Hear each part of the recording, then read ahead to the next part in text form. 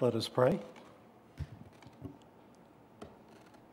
Heavenly Father, as we depart today, help us take this lesson that Gary gave us and bring that joy, that wonderful joy that we have, and let it spread among our life and through all the people that reach out and touch us during this week. Father, give safety to the travelers.